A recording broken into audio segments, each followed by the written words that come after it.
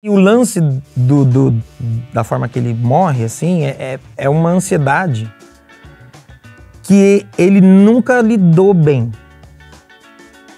Todo show, toda turnê, eles falam que toda turnê que o Michael ia preparar, ele perdia peso, ele não dormia bem, ele não comia bem. Ele já era o Michael, mas ele, ele, era, ele, ele, ele se cobrava e ele era inseguro. Então, o coreógrafo do Michael fala, cara, a gente já a gente tava tipo há um mês para estrear a turnê Dangerous, que tipo até então era a turnê mais cara da história, o negócio mais absurdo, e ele fala que o Michael sentou na frente do palco, ficou olhando e pensativo, e aí ele falou, Michael, tem alguma coisa que você quer mudar? Aí ele falou que o Michael virou para ele e falou, cara, a gente monta esse negócio todo, ensaia, aí amanhã a gente morre e ninguém lembra nem que a gente existiu.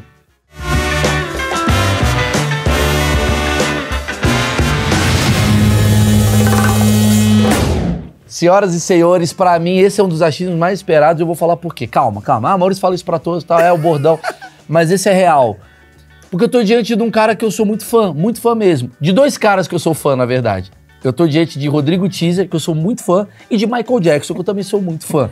E aí, quando junto os dois, é uma das maiores experiências que a gente tem hoje, artisticamente falando.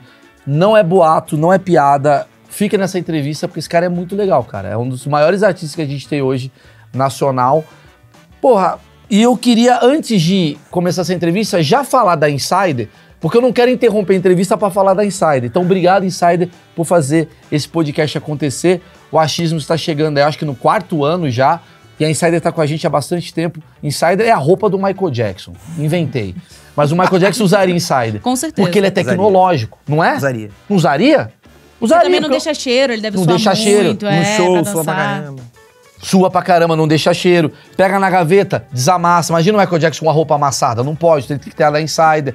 Cueca que abraça as bolas. Michael Jackson tinha bola. Então abraçava, era maravilhosa. Boné resistente à água. Tinha a linha feminina, quando ele quisesse fantasiar de. Ah, quero ser mulher. Põe também. É pra tudo. É pra homem, é pra mulher. É... Gostou do link que eu fiz com o tema? Eu gostei, eu gostei. Tá maravilhoso. trouxe essa pauta. Joguei um. Bruce Link aqui maravilhoso. E Michael Jackson usaria o cupom Maurício12, 12% de desconto, porque no final da carreira há indícios que Michael Jackson estava sem grana, a gente vai falar disso.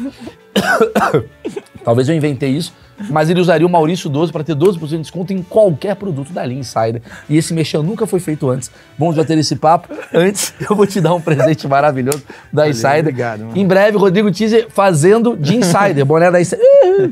A meia, meia antiderrapante para fazer o moonwalk. Perfeito, pra fazer Edição, um edição brilhante. Edição brilha- Vai É, ter uma edição especial. fazer a luva. Cara, eu gosto muito de Não, você. eu que sou teu fã, cara. Cara, falei isso. A, a- a gente, a gente tem uma, uma coisa bem, bem próxima, assim. Eu queria começar fazendo uma pergunta, só pra explicar. Rodrigo, você é hoje oficial, como é que funciona? Mas você é o Michael Jackson brasileiro. É, não, não, não existe um, um- um documento, um termo, não existe um, um acordo, não tem isso. O que acontece é, tipo, quando a gravadora precisa de alguma coisa ou quando alguém liga para a gravadora e pede uma indicação, eles me indicam para fazer o show ou a publicidade, alguma coisa do tipo.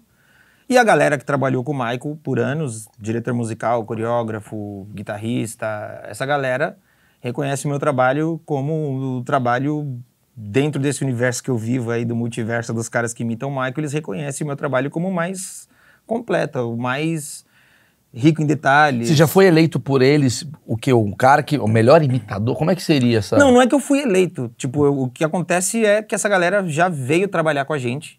Tipo, a supervisão coreográfica do meu show é do coreógrafo do Michael.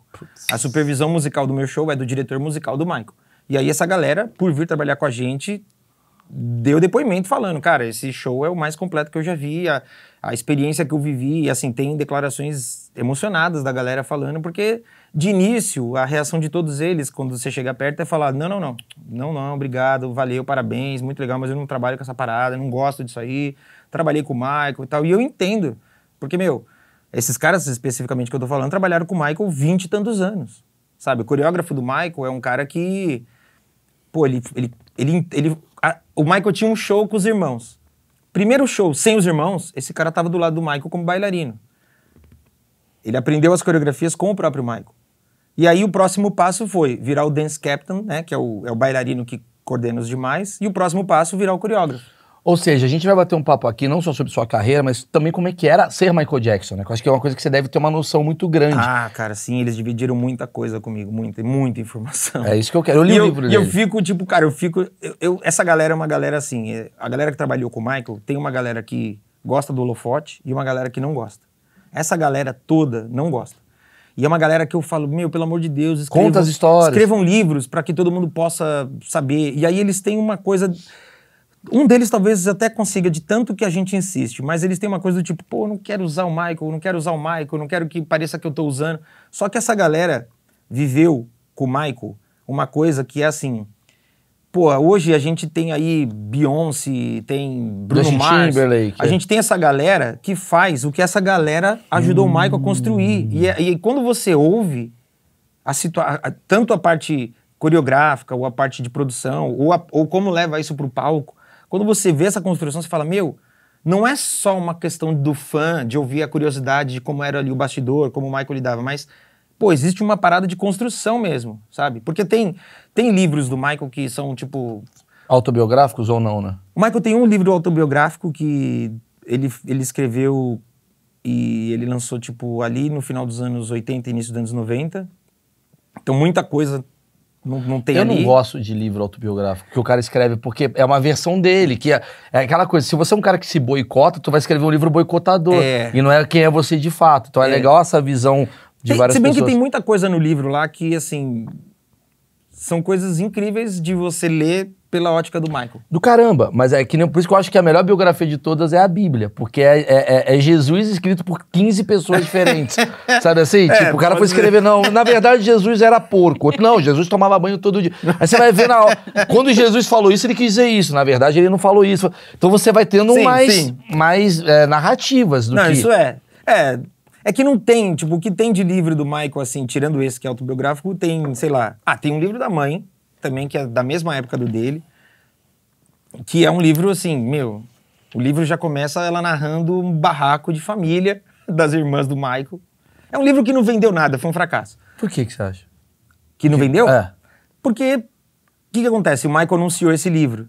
E aí, as editoras buscaram os irmãos, a mãe, e falou: Meu, vocês têm que lançar livro também. E esses livros, obviamente, não tiveram a mesmo, o mesmo investimento e não chegaram, não, não atingiram a mesma venda. Então, a galera que é fã do Michael nem sabe, porque esse livro teve uma edição, uma tiragem lá em 91. Quem comprou, comprou. Quem não comprou, deve, sei lá, deve ter hoje. Ah, deve ter virtual aí. É que, é, é que- Mas ela conta, por exemplo, ela Diga, diga. conta que, tipo, nos irmãos do Michael, ela conta que metade da carreira dos Jacksons, o microfone de um dos irmãos era desligado, porque ele desafinava. Eu, se fosse filho, ia tá puto. é o cara que joga Playstation com o controle fora. Esse cara. Tá ganhando, só que é o computador. Tá. Nossa, tinha isso? Tinha, tinha um irmão que ela falou, ah, ele apanhava muito, dava muita dor, então metade do período do Jackson 5, o microfone dele era desplugado.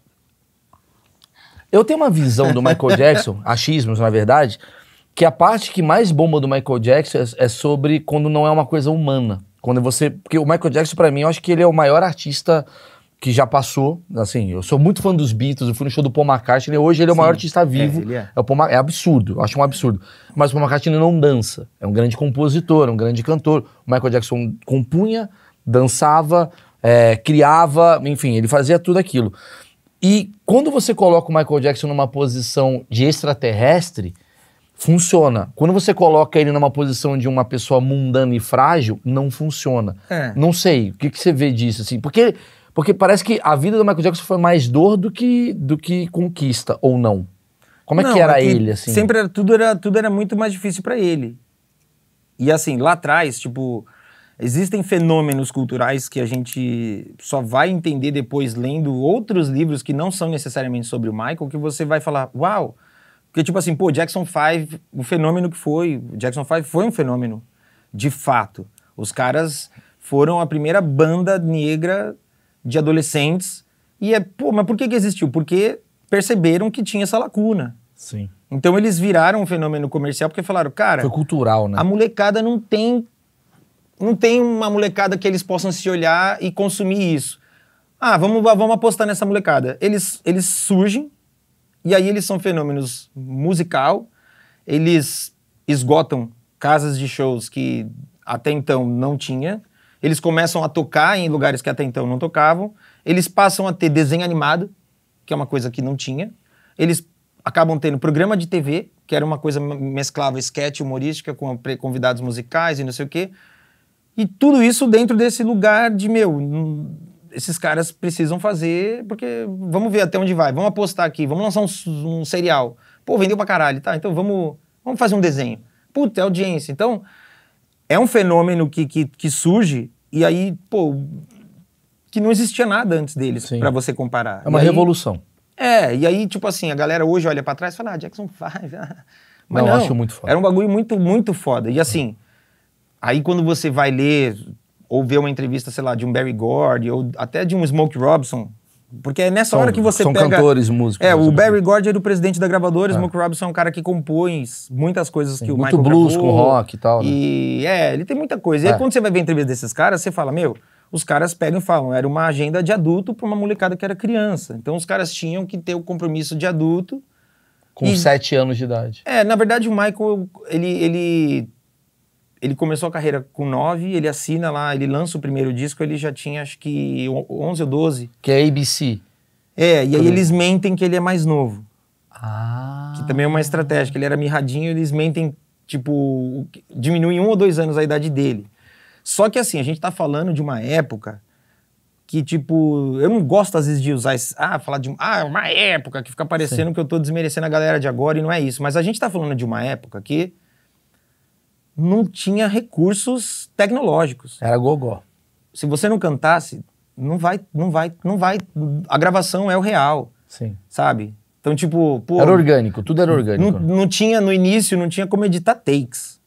O que você ouve é o que o cara cantou no- na gravação do início ao fim, é o que tá ali. Só pra explicar, hoje quando você canta uma música, eu sei que muita gente tá falando, nossa, eu já sei disso, mas tem gente que não sabe. É. Você canta, o refrão você cantou num dia, o verso É. você cantou em outro. Cara, hoje em dia, sem maldade, tipo, isso é uma coisa que tudo bem, é do mercado e ok, porque tudo tem que ser rápido e rapidez é baratear o, o lance. Mas hoje em dia o cara pega e canta, sei lá, tipo, uma música do Michael ele faria She was more like a beauty queen from the movie scene. Aí o cara vai pegar e fala, e aí? Ô, beleza? Foi aqui? Foi. Então vamos pro próximo. I said the my, but do you mean? I am the one. Rolou aí? Foi aí? Não? Vamos de novo. Aí, cara, uma música de três minutos o cara gravou. Ou mais que isso, o One ficou um pouco desafinado. O One- Não canta, não. can- É, aí é a parte mais Pronto, já triste do rolê, né? Essa é a parte triste, eu acho. Eu tenho uma tese, eh, eh, tem- não tem a ver com esse pau, mas tem, que a, a nossa tendência, a gente tá piorando sempre. Porque o Michael Jackson, Cara, eu falo muito isso, puta que pariu. a gente tá piorando sempre. Eu sempre falo isso. Porque se você parar pra pensar, a- o Paul McCartney, em 1970, 60, ele era a melody deles. Sabe assim? Tipo, Sim, pessoa- o pessoal via os, os Beatles e... sacou? O John, lá vem o John Lennon com essas músicas de favelado. Era isso, naquela época. e e me- da mesma forma. É, tipo, da mesma forma que, sei lá, você vai pegar hoje, sei lá, Luísa Sonza vai ser Elvis no futuro. Porque a tendência da gente. Para pra pensar, Beethoven era música. Beethoven era uma sinfonia. Era 25 minutos de Não, sinfonia. e precisava de... Você precisava de um- uma concentração maior pra ouvir aquilo. Aquilo tinha sempre uma construção. Aí tinha sempre um... Pra ir pra um ápice. E aí, com o tempo, a gente tá encurtando cada vez Isso. mais. Aí você pega hoje a música do Michael pros dias de hoje. A gente tá falando de músicas de 20 anos atrás. Os caras já... Pô, isso aí tem muita introdução. É, exatamente. Porra, o cara tem um minuto de introdução. Aí você fala, cara, é porque tinha uma construção. Porque agora é rápido, agora você tem que começar. Tanto que esse vídeo ele começa já com highlight, que é um melhor momento.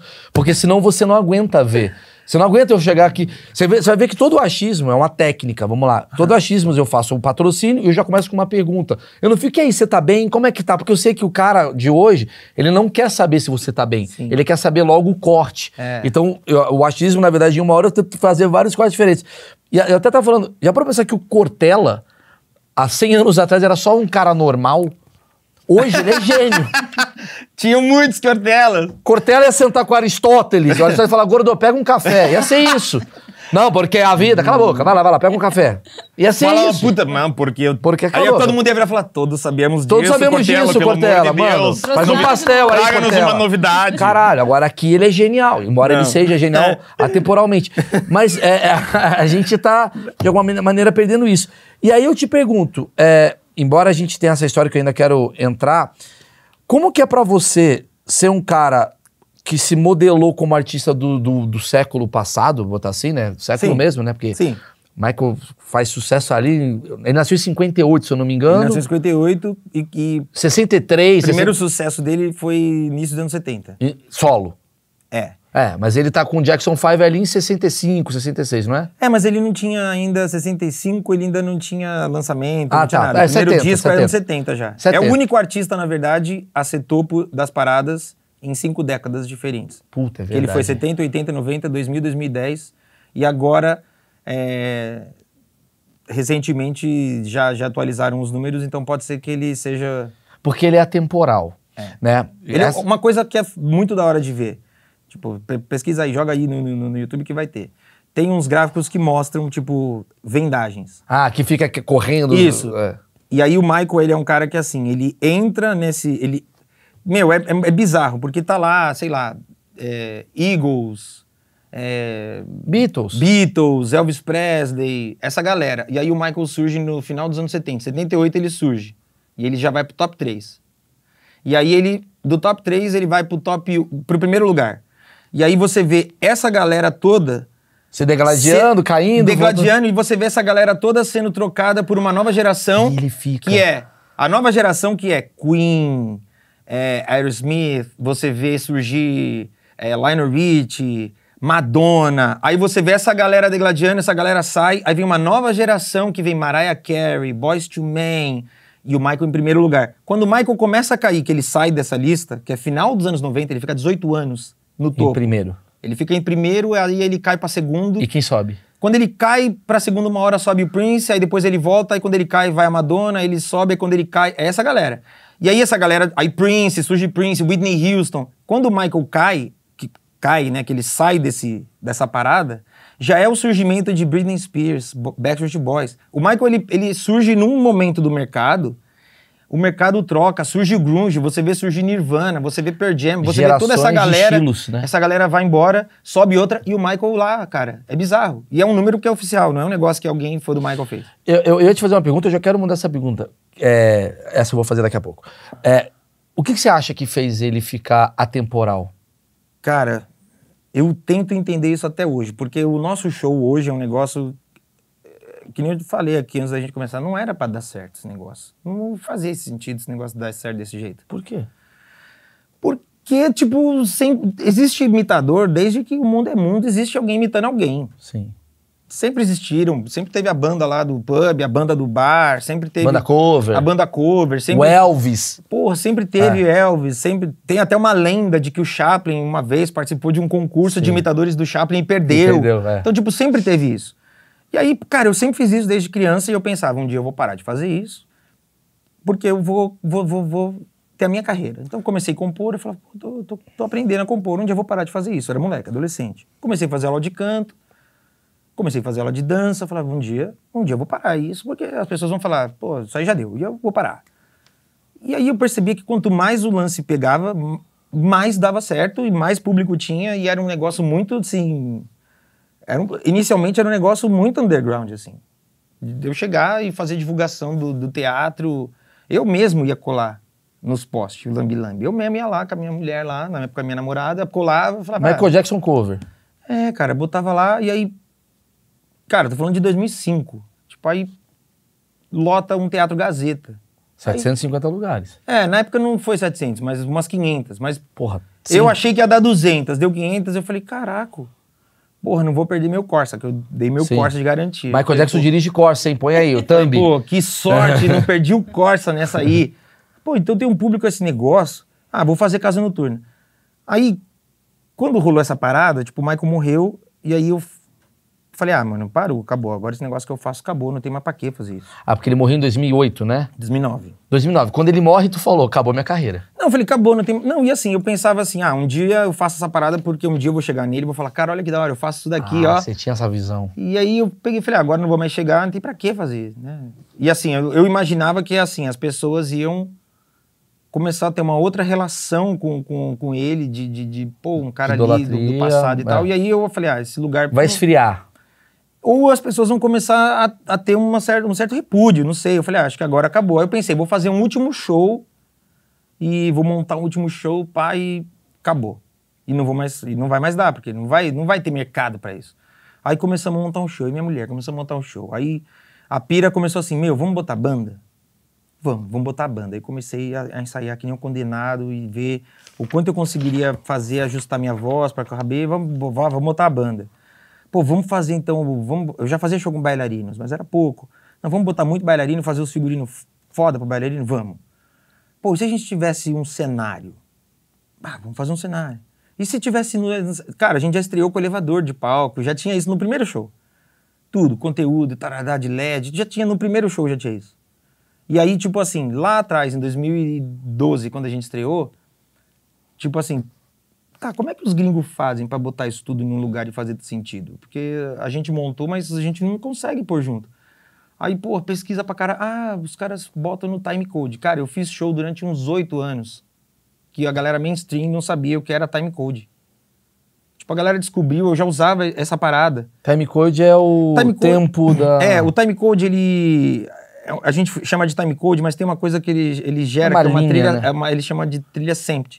E essa trilha é um, é um chiado, um ruído, que você manda para mesa de luz, para mesa de efeito, você manda para todos os lugares. E aí, quando solta, todo mundo toca sincado com a luz, que toca sincado com o painel, que é sincado com o efeito, que é assim, tudo é sincado. Que é os caras lá fora genialmente criaram essa parada. Então a gente começou a montar o show sem saber nem como fazer. E aí, pô, fizemos lá a estreia, ah, foi muito bacana e tal. Eu achei uma merda, fiquei. Achei uma bosta, nunca vou esquecer. Tinha um monte de. Tinha produtores de, de várias cidades. Os caras vinham depois falar comigo. E a, a minha mulher falava, Rodrigo, entra, deixa que eu falo com eles. Porque eles vinham e falavam assim, porra, show bom, hein? Só umas coisinhas, porque deu muita coisa errada. Só umas coisinhas que tem pra arrumar, mas vamos fazer lá na cidade e tal. E eu falava, não vou fazer nada. Vocês viram a única vez, eu vou botar fogo nessa merda inteira. Esse show nunca mais vai acontecer, essa bosta. Vocês não vão levar na cidade nenhuma. E aí minha mulher fazia assim, ó, porra. Mas não tem uma coisa da exigência de um cara que tá imitando o Michael Jackson, então você acaba tirando a exigência para você, então tudo tem que ser muito perfeito, porque esse cara criou a perfeição. Não, pode ser, mas eu fiquei mal no primeiro, mal pra caraca. Eu falei, ah, não vou fazer. Aí me convenceram de fazer o segundo. Aí falei, Cacete, velho. Falei, Mesmo lotando, indo bem pra caramba. Não, cara, o primeiro show nosso tinha uma casa. Porque assim, o que acontece? A gente montou o show, ah, montamos o show, ah, que legal. Aí a gente ia. Cara, a gente não sabia como fazer. Aí eu ia, fui na casa de show, Falava, montei esse show aqui, isso aqui. Aí o cara falava, não, aqui não. Isso é um cover, aqui você não vai, aqui não dá, aqui nem é casa pra cover. Aí eu falava, ah, pode crer, né? Ia pra outra, a outra falava, não. Aqui. Aí eu falava, porra, não vai ter onde fazer esse negócio, ninguém quer fazer. Aí fui fazendo uma casa que, meu, a casa existiu durante um ano e meio só, lá em Alphaville. X. Skyline a casa. Durante um ano e meio ela existiu e acabou. Cara, a gente, aí a gente estreou com 2.200 pessoas. A casa encerrou a história da casa, a gente foi a segunda bilheteria da história da casa. A gente só perdia por roupa, por roupa nova. Então a gente estreou com 2.200 pessoas. Por isso você acha que não daria certo? Porque esse, essa série de coisinhas chatinhas que você. Não, é porque você... eu, eu comecei a pensar assim, cara, a galera. Ela, eu sempre entendi que a galera queria uma experiência. Sim. A galera não queria chegar lá e ver uma galera tocar, dançar, a pessoa falar, ah, tá tocando, tá dançando, mas a galera queria uma experiência. Mas é isso que faz o webbullying bombar. Então, mas é uma experiência. Porque a pessoa sabe que sempre que ela for lá, ela vai ter uma parada diferente. Então. Que, é, que é o que você traz. Eu, eu não enxergava como fazer isso funcionar. Entendi. Era muito difícil de, de, entender como funcionar. E aí, ah, vamos fazer um segundo show. Eu falei, meu. Falei, ah, vamos fazer um segundo show, vamos ver se rola aí. Eu acho que se for uma merda, a gente para, por favor, por favor. Não, beleza. Aí a gente conseguiu montar uma equipe, moldar um negócio. É uma equipe que tá, cara, parte dessa equipe tá com, até hoje. O diretor musical é o mesmo, hold são os mesmos, alguns técnicos são os mesmos. São quantas pessoas você trabalha hoje? A gente viaja fixo em 17 pessoas. Puta. Porra, é o Michael Jackson, né? Não então, tem o que fazer, não é? E a gente, cara, do dia que a gente estreou para hoje, o show é outra coisa. É, ele tá completo hoje, né? Perto não, do nem, que era. não acho que tá completo. Mas ele tá muito Mas mais... ele tá muito melhor. Tipo, cara, a gente hoje... A luz é 100% programada, sabe? E aí é foda, que às vezes eu vejo... às vezes eu vejo uns tributos gringo Aí eu olho e falo, essa luz é minha. Jura? É, porque, tipo, cara, eu, eu fiz um laboratório muito foda de luz, de tudo do show do Michael. Então tem coisas que você pega um show de estádio de 1992, 93, 96, 97, você fala, ok, na época era isso que ele tinha à mão. Como que eu vou fazer isso hoje com o que eu tenho? Então eu programei a minha luz, aprendi isso com, com, com o meu programador, a gente programou uma luz com o que a gente tem na mão. Então, a luz, ela é toda programada, ela segue a coreografia, ela segue a música, e às vezes eu vejo uns, uns, uns- shows lá fora, ela fala, pô, essa parada não é do Michael. Essa parada é minha, porque, tipo. É o, eu- que você, é, é o que você criou como uma versão do que... É, Entendi, porque, entendi. tipo, no- É autoral. É, eu, eu botei. Aonde eu posso criar dentro dessa parada? É nisso. E o cara fala que copiou. E aí eu pergunto, como é que funciona essa coisa de direitos autorais, né? Óbvio é uma Ah, pergunta tem que que pagar sempre, cara. você tem que pagar. Toda vez. Aqui, lá fora, qualquer país que vai, direito autoral eu tenho que pagar. E é o que? Eles cobram que 30%, 1%? É uma, uma multa? Como é que funciona? Cara, cada, cada lugar é uma regra. Aqui no Brasil é o ECAD que cuida, e aí o ECAD também aqui, cada lugar é de uma forma. É, quando eu tava montando o show, eu tinha muito medo disso, então isso foi uma coisa que me aproximou do... O spoiler do Michael sabe do nosso show, sabe da minha existência, me monitoram o tempo todo. É, eles acham que para um imitador eu já sou grande demais, então tem certas coisas que eu sou meio censurado. Tipo, Tipo, teve a festa de 60 anos do Michael. Rolou em Las Vegas uma puta festa. Família, filhos, produtores, todo mundo. Aí eu recebo um convite da Sony. Queremos que você vá sem caracterização, porque você é o. Dos fãs, do, do- do público do Michael, você é o cara com mais seguidores. Então, tudo que você gerar de conteúdo em português vai atingir uma galera grande. O Brasil é um país que tem muita relevância em rede social. A gente quer que você vá cobrir. Aí eu falei, ó, Vamos ver, porque não sei se não sei se vão deixar no final. Não, imagina, a Sony, nós somos a Sony, estamos te convidando. Eu falei, beleza, cara. Quando bateu no espólio, dito e feito, os caras pediram para que fosse tirado o convite, mesmo eu não indo de Michael, porque eles falaram, cara, ele já é muito grande para alguém que nunca esteve numa. Porque a festa era o aniversário do Michael, com a família do Michael, com os produtores do Michael. mas que eu não entendi. Por que, que isso seria ruim? Porque de- o espólio do Michael, ao contrário do espólio do Elvis, o espólio do Elvis ele estimula os, os imitadores. O espólio do Ah, Elvis estimula os imitadores. Eles enxergam que. Assim que deixa eterno. É, porque, cara, de certa forma. a- vamos supor, eu faço um show. Vamos supor, sei lá, tem mil pessoas ou dez mil. Quando acabar esse show, essa galera não vai entrar. Eu adoraria que eles entrassem no meu Spotify para ouvir as minhas músicas. No meu Apple Music lá. Eles vão entrar no do Michael. Então, de- eu movimento a música do Michael. Sim. O cara vai ver e vai falar, cara, será que esse. Será que essa roupa é igual? Chegar em casa eu vou botar o YouTube para ver a roupa. Então, não vejo problema. Mas o, isso é uma- essa postura de incentivar é o spoiler do Elvis. O spoiler do Michael é, é- é o oposto. Ele está ganhando muito dinheiro em cima do nome do meu artista. É meio que isso, assim? Teoricamente sim, mas eles não enxergam que na verdade eu trabalho para eles. Sim. Eu trabalho para eles. Você mantém a imagem do cara viva. É, Para um público novo que é, aparece. é, eu, nem, eu nem digo que mantenho viva, porque Não, mas eu vai digo. morrer essa parte. Não, mas eu digo. Você não precisa É, dizer. Eu não, não. não quero ir no, no, numa festa. Já Não, foi. é que assim, o, Não Michael, a imagem do Michael não vai morrer, mas o que eu digo é assim. Mas você mantém viva, desculpa te interromper, você vai manter viva, porque você vai estar em gramado fazendo um show e vai ter uma criança que vai falar: que coisa é essa? Não. É o Michael Jackson. Não, por exemplo, você vai. Por que, que eu acho que é uma visão errada do spoiler do Michael? A gente, o ano passado teve a Copa. Porra, estamos aqui em casa, normal, daqui a pouco chega o e-mail da FIFA.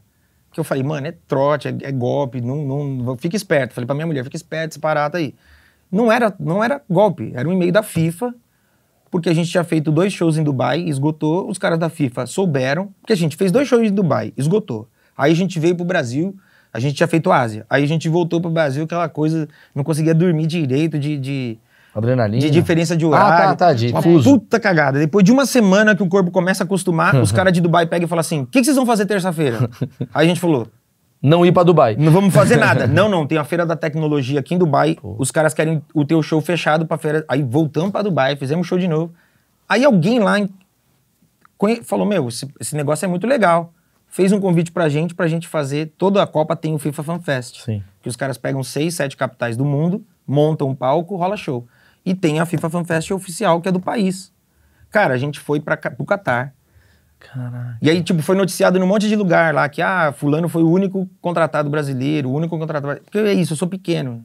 Entendeu? Eu não, eu não tenho esse poder de pulverizar as coisas que eu, que eu faço. Então, tipo, nós fomos a única atração brasileira contratada pela FIFA. E a gente fez o primeiro dia, o show de abertura do FIFA Fan Fest para 40 mil pessoas. Então, por que, que eu acho da hora essa postura da, do spoiler do Elvis que a spoiler do Michael não entendeu? tinha 40 mil pessoas do mundo inteiro, gente com bandeira que, pô, eu não era um bom aluno de geografia. Então, Sim. eu lembro que eu falava assim, ah, obrigado, eu falava, obrigado Argentina, obrigado Japão, obrigado vocês, porque eu não sei todo mundo. E aí, tipo, pô, 40 mil pessoas do mundo inteiro num evento da FIFA que tocou duas horas de Michael. E aí, a galera que viu esse evento, ela não saiu e falou, meu, deixa eu lá ouvir a música do Rodrigo. Foi ouvir a música do Michael. Não, e detalhe, você paga pro Michael, porque automaticamente. Não, aí, de novo, cara, aí, aí lá fora tem uns trâmites que, por ser FIFA, aí eu lembro que, assim, por ser FIFA, eu tinha que mandar. A, a- eu sempre tenho que mandar o, o set list. Que, pô, esse bagulho também que eu fico puto, porque às vezes você chega no dia e fala, pô, deu Queria vontade de. essa. Quero tal. Às vezes eu boto e dane-se, tô nem aí, caguei. Eles que Ah, resolvem. Mas eu tive que mandar, mandar o tempo. Aí por lá tem uma questão cultural muito absurda, assim, muito restrita. Eu tive que mandar foto de todos os detalhes da roupa, porque o Michael tem muitos brasões, muitos símbolos militares. Então eu tive que mandar todos os detalhes meus dos você tá falando como é que seria se o Michael Jackson estivesse vivo e cantando na Copa. Você viu? Seria, Seria exatamente mais ou menos isso. E sabe o que que foi bizarro? Que a gente chegou lá pra fazer o show. E aí, tipo, cara, realidade. Primeiro, realidade da Copa, realidade do Catar, né? Então, tipo, manda o teu mapa de luz. Aí, pá, mandamos o mapa de luz. Não, beleza. Ó, aqui no teu mapa tem laser, a gente. Aqui vocês, vocês usam quatro, que é o que eu tenho. A gente tem oito, pode ser. Era tudo, tudo Ah, muito mano. megalomaníaco, assim. Só que, tipo, de backstage, os caras não estavam preparados pra uma porrada de coisa. Tipo, de, de coisa simples. Tipo, uma, o cara, o lugar era um lugar. Era um calor absurdo. Sim. E os caras não tinham, tipo, geladeira no backstage ali, no palco, sabe? Onde tem o. A gente Sim, chama sim, de quick sim, change. Os caras não tinham geladeira ali pra beber água. Quer dizer, é, é, pra, é pra todos, não é pra você, né? E aí, tipo, a água ficava, tipo, a, sei lá, 150 metros no camarim.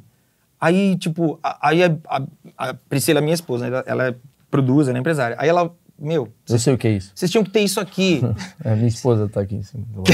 É minha dona. Vocês tinham- é, eu falo, eu falo, eu falo, Priscila é a dona do show, É. mano. Mas eu falo, mas depois eu posso até explicar por que que eu falo isso. Aí, ah, cara, vocês não têm isso aqui. Bicho, vocês não têm isso aqui, isso aqui.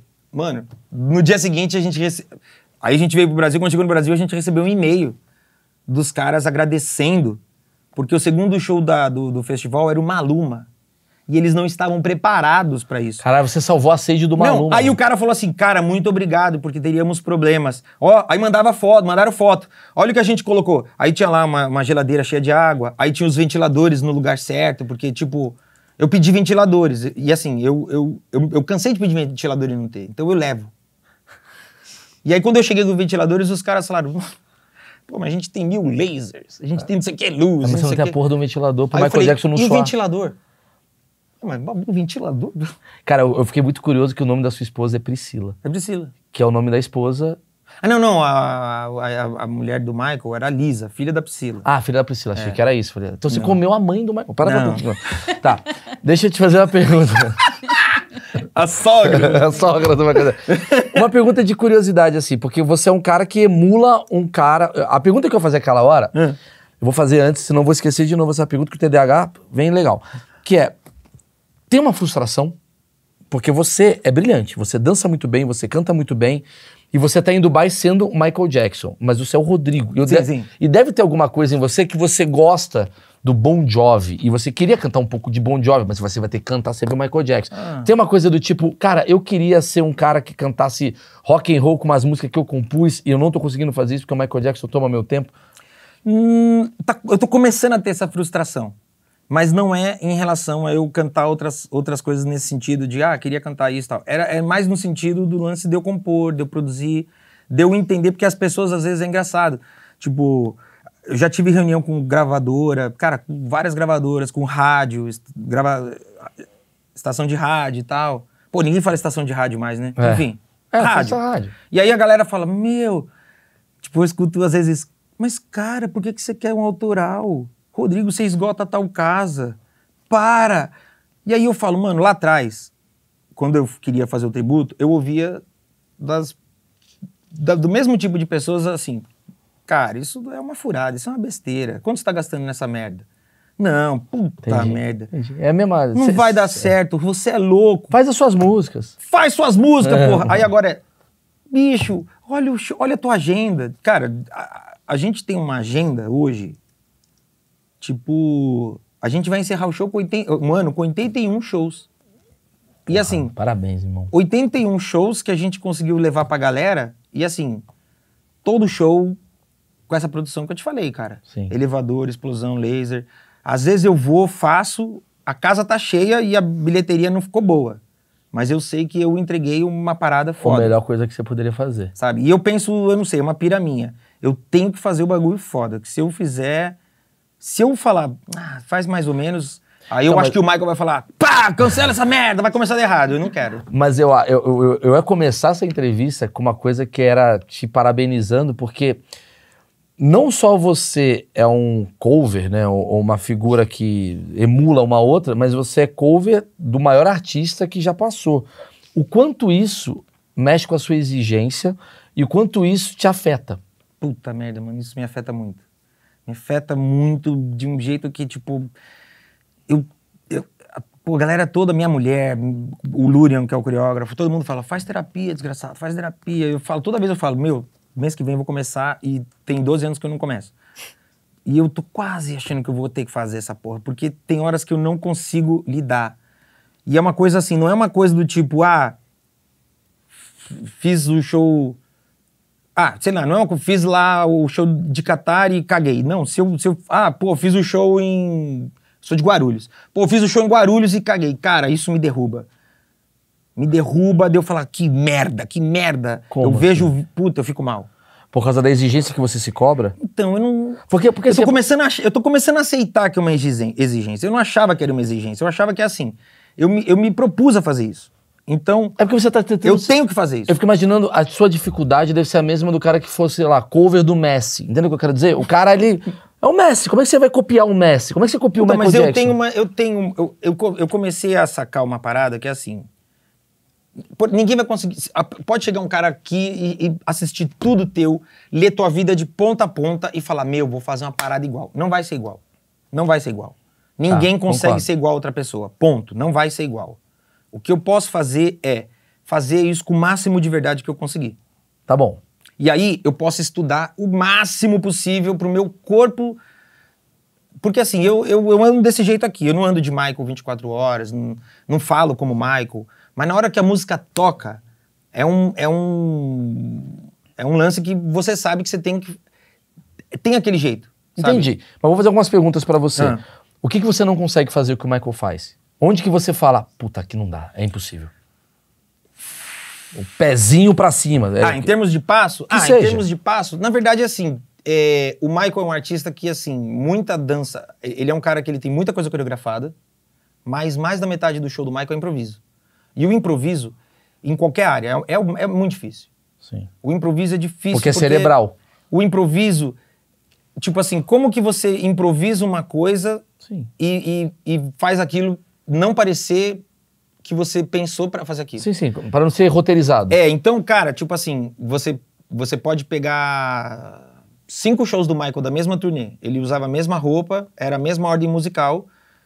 Os momentos certos, onde a luz vai para aquele lugar, o Michael ia e tava naquele lugar.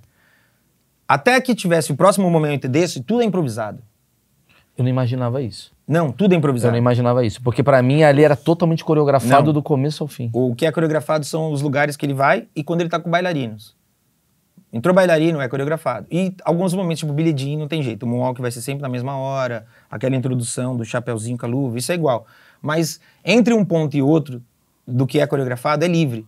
E aí, nessa hora do que é livre, é uma coisa que é bizarra, porque assim, você. Não é um papo. Antes eu pensava, ah, pô, isso aí é papo de artista que viaja, mas não é. Você tem que você, você tem que estar desconexo do, do, do físico para você improvisar e o negócio rolar. E, e é difícil quando você cuida, pro- pro- produz, e aí você chega lá, tipo, às vezes eu vejo minha mulher cochichando assim, ou mandando eu falo, tá tudo bem, tá tudo bem? Aí ela fala, tá tudo bem. Aí daqui a pouco eu vejo alguém correr e falo, tá tudo bem? Aí ela, meu, não, deu um problema não sei onde, sabe? E aí é difícil você desconectar disso, Ah, entendi. porque a maior merda que tem é você estar numa casa de show cheia, lotada, e aí você começa a viajar. Quando você começa a viajar, você percebe que alguma coisa travou teu pé, você olha é o carpete soltando. Aí você já pensa, porra, vou ter que dançar o show todo, Você voltou pro mundo. tomando cuidado, porque se eu não tomar cuidado, eu torço o meu pé. Se eu torcer o meu pé, eu cancelo o show, aí Cara, isso em um não sei segundo. quantas pessoas ficam sem trabalhar. É. E aí, isso você pensa em um segundo. Só que aí você, Se desconecta. você fica ali, pô, olhando o chão, você fala, cara, isso é, isso é uma merda. E aí, aí você já entrega menos. Quando você entrega menos, e a galera filma o show, né, cara, não tem jeito. Tipo, graças a Deus eu nunca caí, mas o dia que eu cair vai estar no YouTube, porque todo mundo filma tudo. E aí você assiste a galera, tudo que filma eu assisto. Aí eu assisto e falo, puta, que bosta que foi esse show, meu, que bosta, cara. Às vezes eu vai até um amigo. Já aconteceu, pô, Cris Paiva outro dia. Eu mandei uma mensagem pra Cris Paiva, falei, ô Cris Paiva, pelo amor de Deus, vai no meu show de novo. Você foi num show, tô com vergonha. Cara, você é igual eu, mano.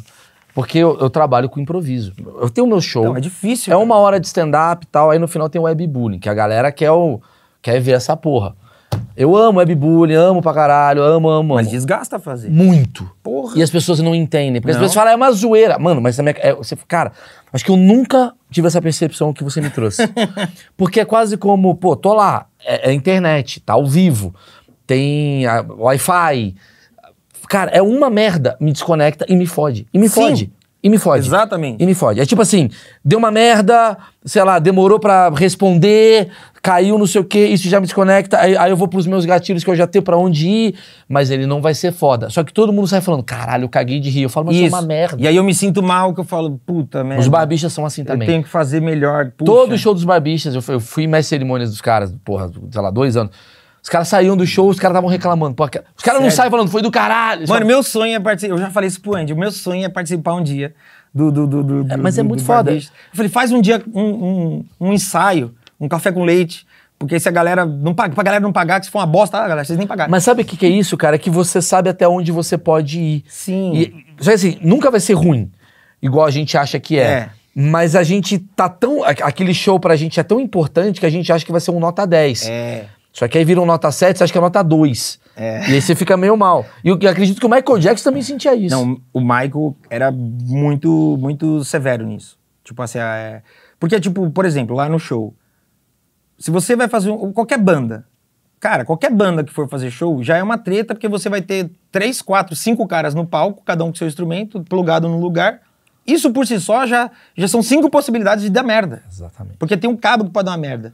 Aí, além dessa possibilidade, tem a mesa que leva pro PA, pode dar outra merda. O PA pode dar merda. Então, isso por si só já é um problema. Aí no nosso show, além dos, dos- dos cinco músicos, você tem seis, oito bailarinos. Que são seis, oito pessoas que podem errar, que podem tropeçar. pode tropeçar no cabo. Uma roupa pode rasgar. É. As trocas de roupa, elas são muito corridas, então pode dar errado.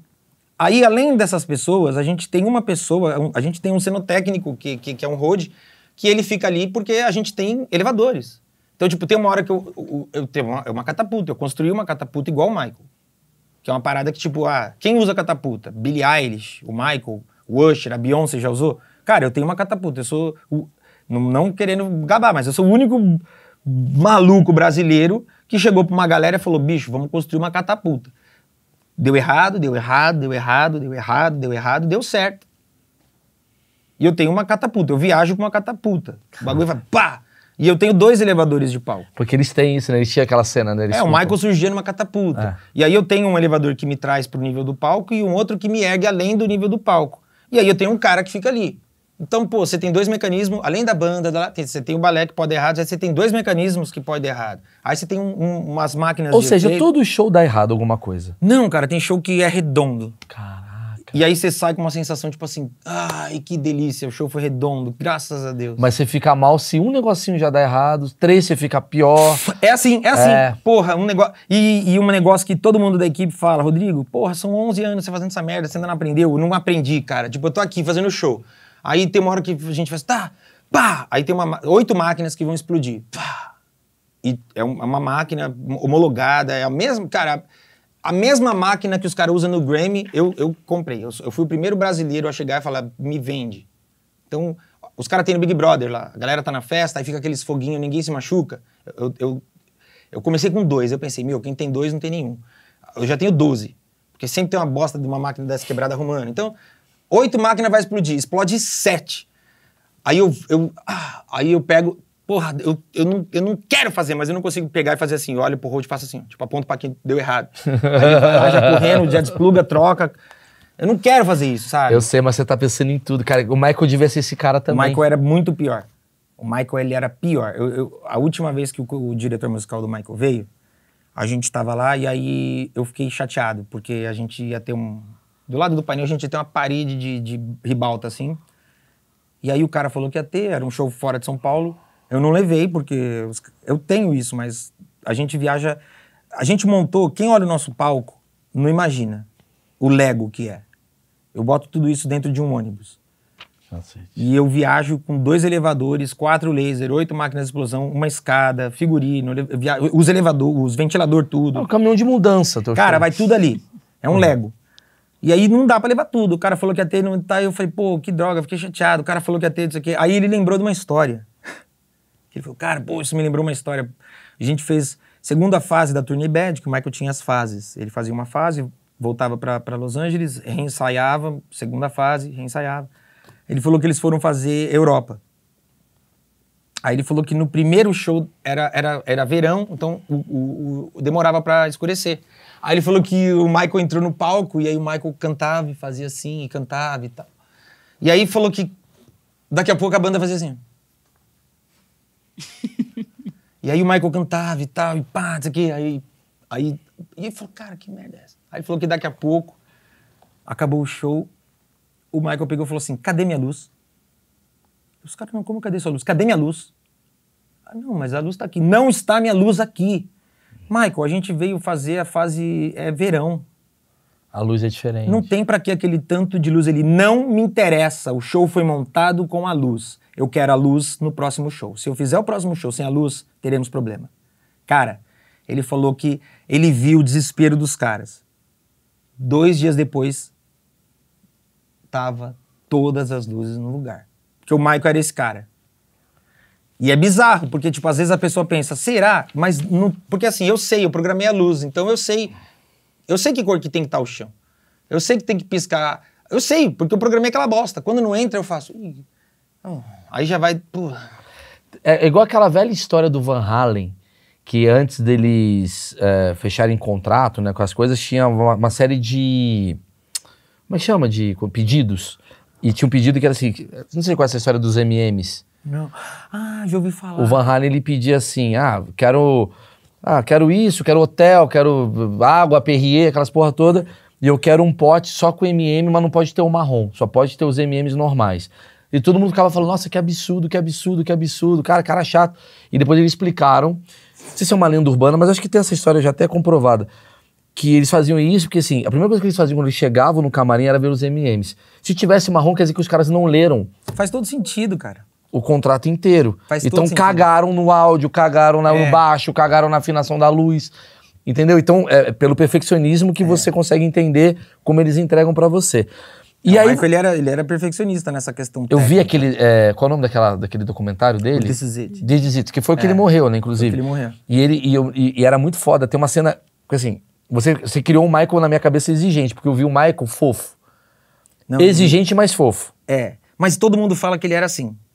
Sorry, é, Era assim. com licença. O diretor musical do Michael, ele começou a trabalhar com o Michael na última turnê dos Jackson. E trabalhou com ele até o início da It. Ele, foi ele saiu junto com essa equipe já no início do que estava se tornando o It. Sim. E aí ele fala que assim, a turnê era tensa porque é uma turnê. Pode. Esse monte de coisa que a gente falou Sim. pode dar errado e dava. Sim. E a gente tá falando de uma época que, meu, não existia esse monte de coisa digital de hoje. Sabe? Sinais digital. Os caras viajavam com toneladas de cabos. Os caras tinham que. Era, era trita. E a- mas ele fala que nada se compara aos ensaios. O ensaio era tenso. E o ensaio funcionava assim. E- esse cara, que ele era o co-diretor musical, ele montava, ele preparava, ele ensaiava, tipo, três semanas para que quando chegasse o, o, o, o que seria o diretor geral, isso já tá de pé. Os backings ele, ele ensaiava separado, o balé ensaiava separado. Aí essa galera se encontrava, rolava mais, sei lá, duas, três semanas de ensaio, eles juntos no estúdio, enquanto isso o palco era montado. E aí eles iam pro palco. Quando chegava no palco, quando chegava no palco, o Michael falava: Todo mundo já sabe o que tem que fazer? Todo mundo sabe. Então tá, a gente vai começar. Cada vez que alguém errar, a gente volta do início. E a primeira vez eles Mentira, entenderam que era o início da música. Não, era o início do show. Então, era uma parada assim. que ninguém queria errar, porque falava, meu, a- às Eu vou vezes. prejudicar todo mundo. E às vezes o cara fala, meu, às vezes a gente. Alguém errava na oitava música. E aí o Michael falava, gente, não fiquem chateados, mas é pro bem do show. A gente vai ter que voltar. Aí voltava. E aí era assim, o ensaio era assim. Só que quando o show estreava, eles já tinham feito 30 shows de ponta a ponta. Por isso essa coisa de falar, meu, como é que tudo funciona? Porque como é que o cara traz um. Como é que o cara sabe a hora certa de trazer, a hora certa de uma coisa se move, e a luz, e o painel, e a... Porque os caras já tinham Então, mas essa é a minha dúvida com você. Porque assim, é, é muito injusto com você o que você faz com você. Não. Vou te falar por quê. Hum. Porque o Michael Jackson, ele tem 800 anos de carreira, então ele fecha o Morumbi, e essa- o Morumbi tem essa estrutura que você vai apresentar no, no Teatro Gazeta. E tu tá chegando com um elevador no Teatro Gazeta. Já aconteceu. Como é que funciona? Porque você vai fazer show nos rincão aqui, você vai fazer show em, sei lá, uma cidade do interior da, da- do centro-oeste te contrata. E aí? Como é que você faz? Cara. Que era catapulta, os caras, irmão, não tem nem água. Não, mas aí, cara, a gente. É muito raro a gente não conseguir dar jeito. Cara, já aconteceu. O, o pé direito não dá pra pôr o cenário completo. Porque a gente construiu o cenário pra que eu possa. Porque assim, eu não tenho como chegar no Tom Brasil e falar, "Ah, abre um buraco. Não existe. Então eu construí o nosso cenário pra que todas essas movimentações estejam acima do palco. Tá. E já aconteceu de chegar no lugar não ter, a gente bot... aí a gente tem um plano B que eu boto as coisas na frente do palco. Mano, já aconteceu de eu ir, tipo. Sério, já aconteceu dos caras pegarem do fundo do palco até a frente, botar uma lona e eu ir, tipo assim, na lona, me posicionar pra quando começar o show eu pá, surgir. Porque a brincadeira é essa, cara. A galera. eu- Espera a experiência. e eu, e eu falo, pô, eu não quero entrar andando, porque todo mundo entra andando, todo mundo entra andando, todo mundo faz. Eu quero, eu quero que a galera fale, puta, não acredito. Eu, eu tenho, eu gosto da experiência. Caraca, começou assim esse negócio, pra onde vai isso, sabe? Exatamente, já começou assim. Em cima do perfeccionismo de Michael Jackson, agora eu tô conversando com um cara que. Acho que é um dos únicos caras que pode responder essa pergunta, que é: qual é a música mais difícil de cantar do Michael Ah, Jackson? cara, puta, tem muitas, mano. Tem muitas. Tipo assim, não sei como era pro Michael. Porque, tipo, tem canções do Michael que o Michael nunca cantou ao vivo no tom do disco. Hum. Então tem músicas que ele foi pra turnê, ele já baixou meio tom. Com alguns meses de show ba- baixou pra mais Mas ele nunca fez meio. playback, ele sempre cantava. Não, ele usou. Ele usou algumas vezes playback. Ele usou. né? a música inteira. Teve, teve músicas que ele us- usou. Que também é uma coisa que eu penso assim, ele é o Michael, ele é o dono daquilo, ele pode. Se, eu, se eu chegar e meter um playback lá em qualquer música e a galera falar, ei, Então, porque, porque eu tava vendo esses dias uma trilha, porque agora a galera separa, né, as, as partes da. ah, sim, sim, sim. Ele cantando ao vivo, Por baixo do playback. por baixo do playback. Então, cara, é, é bizarro porque assim, eu pe- quando eu recebi essa trilha, eu fui lá. Mas você viu isso? Mandei pro diretor musical dele, mandei pro, pro engenheiro de som, falei, mano, essa parada é real? Eles garantem que não. Quem vazou garante que é. Aí eu falo, cara. Porque assim, o, o, que, que, o que, que me parece maluco? Não me parece maluco que a pessoa fique ofegante e, e fique. Tá rolando um playback, não, não sei, não importa o que tá sendo ali, porque tá, tá rolando um playback, ele tá de um jeito. Mas me soa estranho por que, que ele gritaria, Ah, sim. sabe? Tipo, por que, que você vai gritar se você sabe que não vão te ouvir? Por que, que você vai machucar a tua voz? Então, essa- Ah, entendi. nessa hora que eu fico Por que meio. que você não só simula? É, ah, porque não vai passar veracidade, isso aqui. Eu falo, cara, o Michael é um cara tão assim que tem shows que ele nem dubla. Tem partes da música que ele. Eu, eu perguntei pro coreógrafo, falei, cara, por que, que tem músicas que. Smooth Criminal, por exemplo, tem uma hora lá que o Michael vai andando e ele nem dubla. Eu falei, aí o coreógrafo falou, cara, ele, ele falava, bicho, é um estádio, é tanta gente. É, Nessa hora eu vou focar na dança. Mas E tem aí- telão, né? é, mas ele, cara, se você digitar no YouTube, tem músicas que. And are you okay? So, and are you okay? Ele tá lá dançando e a boca tá assim, ele faz. Entendi. E aí, aí nesse outro momento, ele vai gritar que nem um condenado? Eu não entendi, sei. entendi. Ele não tinha essa obrigação de fingir que ele estava cantando igual hoje as pessoas fazem. Sim, Porque não. hoje tem celular, hoje tem a E câmera. assim, no- tem tem um lance- Zoom na boca do cara. Tipo, tem um lance até muito doido, que tipo, o Grammy insistia pra caraca pro Michael fazer uma performance, ele falou, tá bom, vou fazer. E aí, o Michael falou, ó, vou fazer tal coisa, essa música que eu vou dublar, então, não vou nem estar com o microfone. Falou, aí o, o coreógrafo falou que os caras falaram, não, Você tem que estar com o microfone, cara. E ele falou: não, não, não, é dublado, eu nem vou estar com o microfone, que é pra todo mundo saber que é dublado mesmo.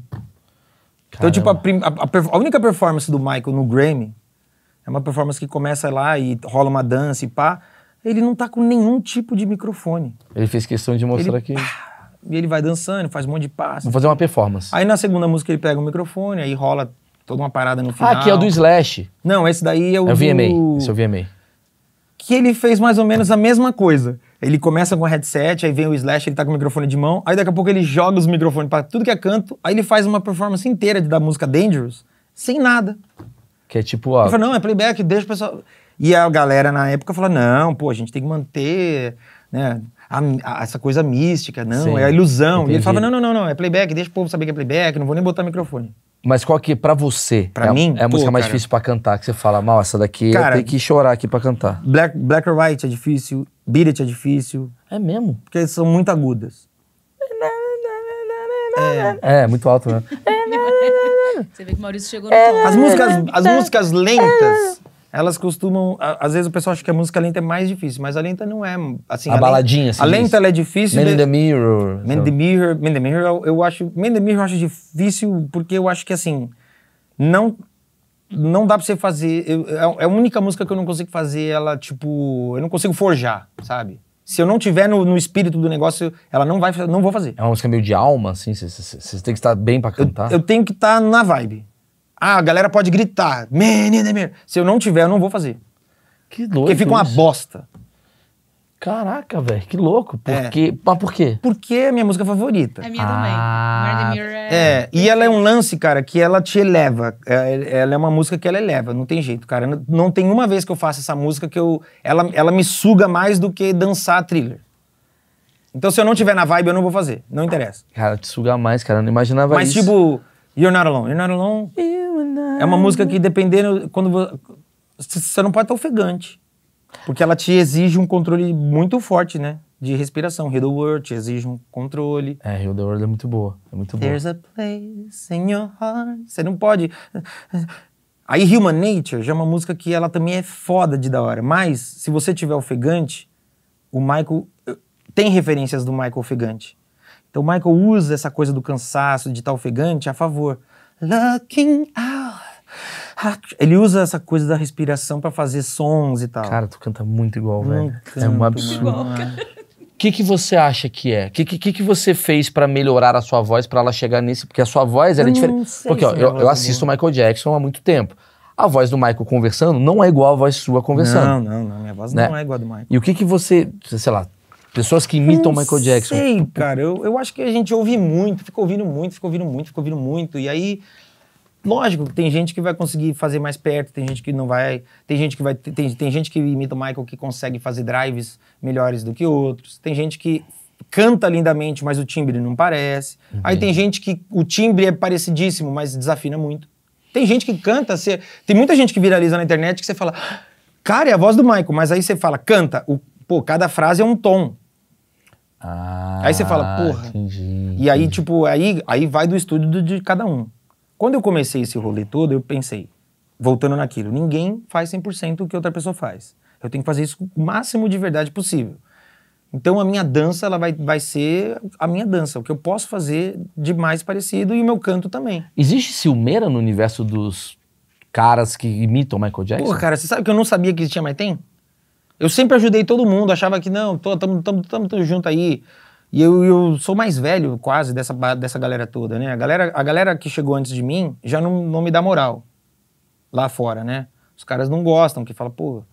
Brasileiro. É, e eles me chamam assim lá fora. Da Brasília? Pô, brasileiro, porra, é.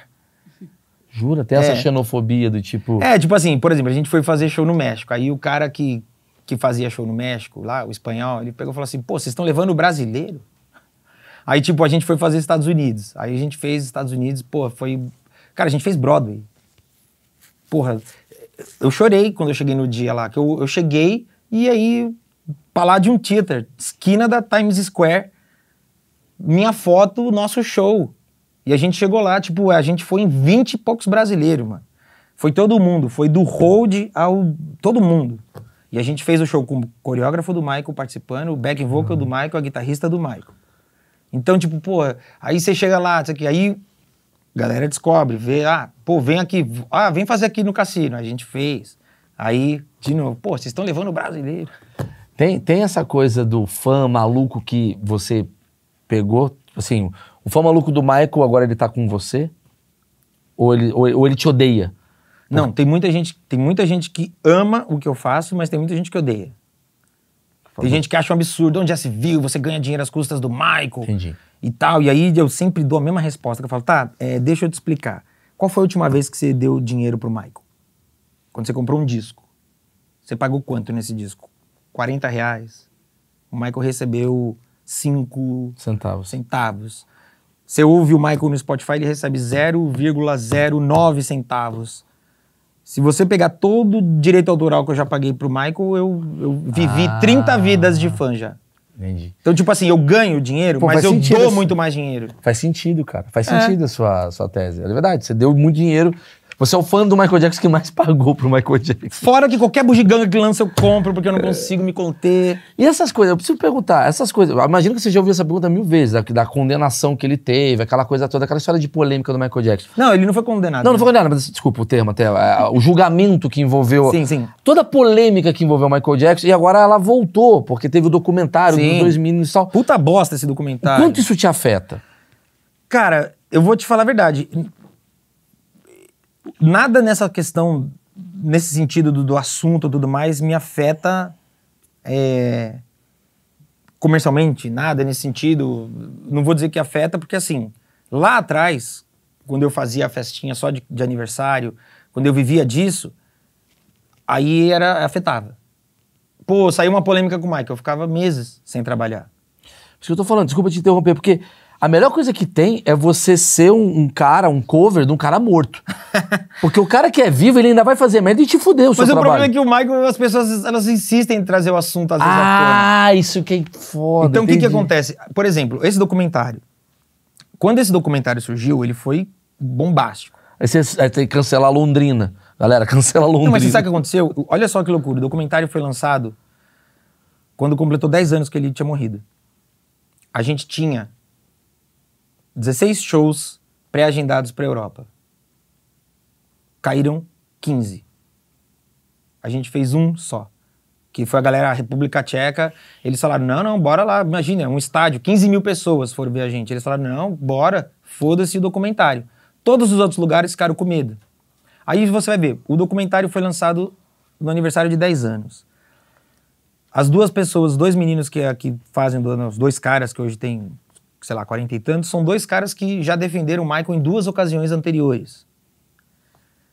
Aí os caras pegam e falam: Ah, nós não ganhamos nada. Eles sempre batem nessa tecla: não ganhamos nada para fazer o documentário. De fato, não ganharam, mas o documentário foi vendido para cento e poucos países. Quanto que você ganha vendendo um documentário para cento e poucos países? Uhum. É muita grana. E aí, tipo assim, o documentário em si, ele foi construído em cima dessas histórias que, aos poucos, foram caindo. Foram sendo desmentidas. E são histórias, assim, desde... Sei lá, desde uma bobeira do cara chegar e falar ah, isso aqui são presentes que eu ganhei do Michael e agora eu vou me desfazer. Aí ele faz uma fogueira. Aí uma casa de leilão se manifesta e fala, peraí, você queimou esses, esses itens mas você tinha me dado esses itens e eu leiloei dois anos atrás. Você queimou uma cópia ou você me vendeu uma cópia? Aí o cara tem que vir publicamente e falar: não, eu, eu- o, que eu, o que eu leiloei era verdadeiro, isso que eu queimei eram cópias, foi, foi, um, foi um gesto simbólico. Aí você fala: bicho, você está fazendo um documentário, fazendo uma acusação seríssima. Não tem que ter gesto simbólico. Porque você não vê gesto simbólico no documentário sobre o R. Kelly. O documentário do R. Kelly é pesadíssimo. Não tem nada simbólico ali, só tem o que aconteceu. Acusações. Aí você pega o documentário sobre o Bill Cosby. Não tem nada simbólico ali. É o que aconteceu. Aí você pega o cara, aí, meu, a galera foi do Michael, é, é- é sagaz pra caraca. O cara deu uma um depoimento, e aí eles falam: ah, levamos Fulano para um hotel para que ele tivesse um ambiente neutro, para que ele desse o depoimento dele, tarará.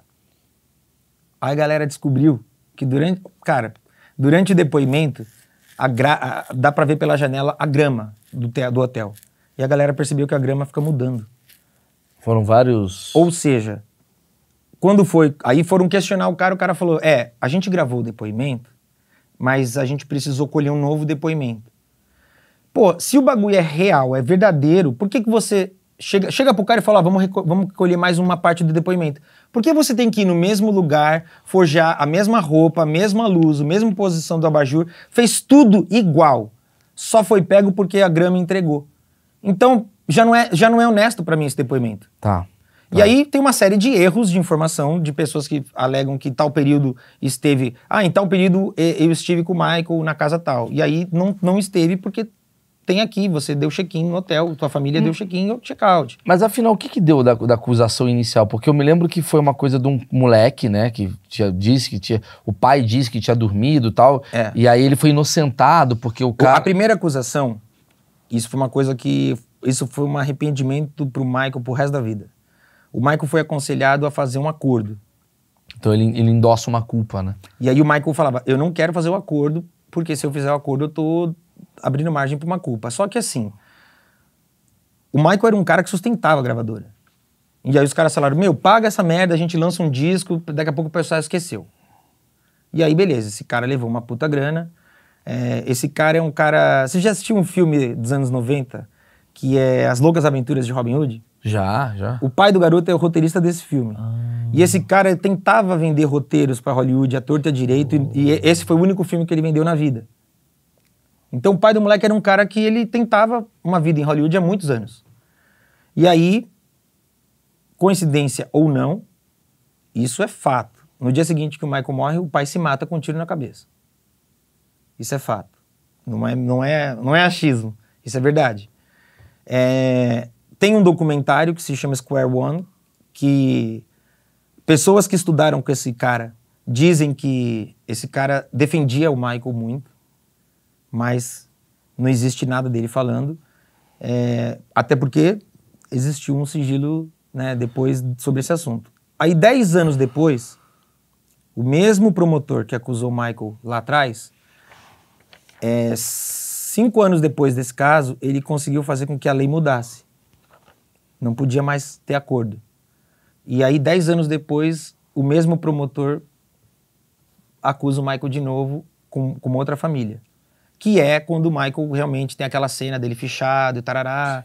Aí todo aquele acontecimento. Ne- Nessa ocasião, aí sim ele foi investigado, é, entraram em Neverland. Eu, eu visitei Neverland.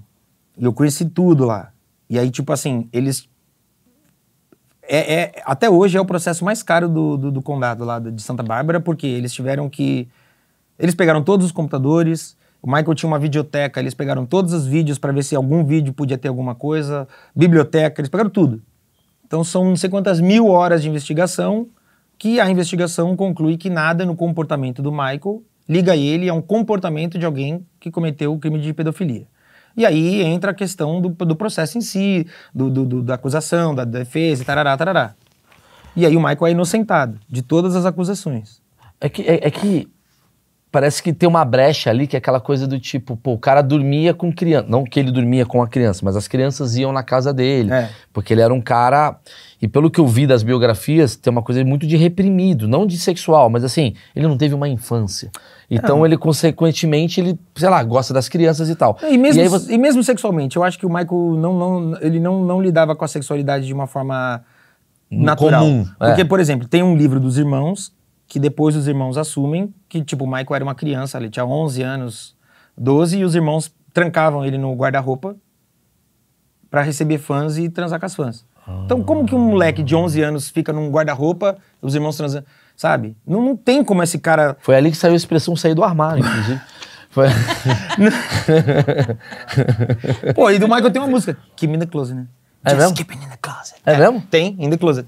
E aí, cara, como é que esse moleque vai sair do armário lá, ver os irmãos, pô, com 11 anos, 12 anos, 13 anos, como é que ele vai sair e achar, ah, es- isso é natural? Não tem como. Pois é, por isso que, por isso que eu, eu- aonde eu tô falando da brecha, é pra, assim, o cara tava lá numa situação de repressão, porra, do pai batendo com cinto, aquela maluquice toda, o nariz, o cacete a quatro.